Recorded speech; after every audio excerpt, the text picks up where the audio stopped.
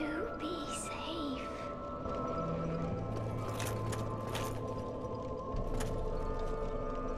Oh, hello. A pleasure to see you again. But don't neglect the fair lady.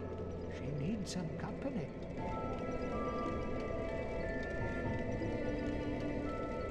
Have you heard of Lost Quelana, an inhuman witch who wanders the poison swamp?